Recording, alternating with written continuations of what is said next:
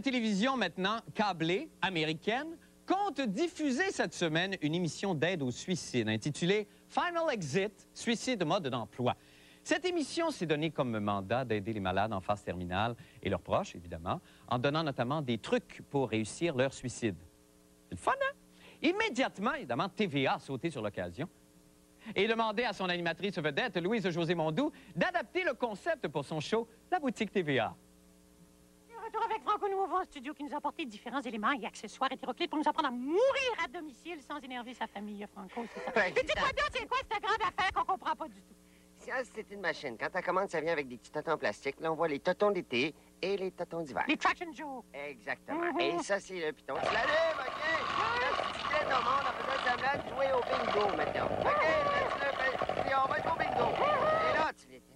Et là, comme semblant de te faire un massage. Et là, pas de fais dans le derrière. Euh, c'est très efficace, ça, Franco. Fait qu'on voit ici encore les totons d'été, les totons d'hiver. Qu'est-ce que tu veux de plus? Venez mourir à la maison ensemble.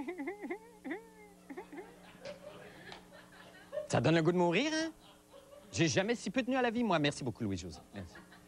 Et là, j'aimerais terminer cette revue de presse par une petite correction, si vous permettez. C'est que la semaine dernière, pour des raisons qui m'échappent totalement d'ailleurs, je vous ai annoncé en primeur, encore une fois pour se couper flash, qu'une représentation de la comédie musicale Notre-Dame de Paris avait été interrompue parce qu'un des interprètes, le viril chanteur euh, M. Robert Marien, avait, au moment d'entonner la chanson belle, fait un pet sauce. Eh bien, il semble que ce soit une erreur, parce qu'en effet, selon un article de l'hebdomadaire Éco-Vedette intitulé « Quand spaghetti rime avec brownie », il s'agirait plutôt d'une petite gorgée sûre.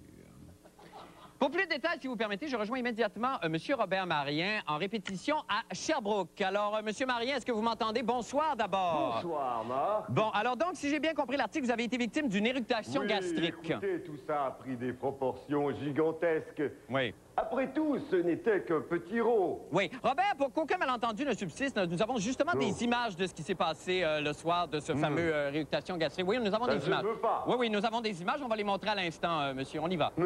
Oui, je vous dis, on y va avec les images.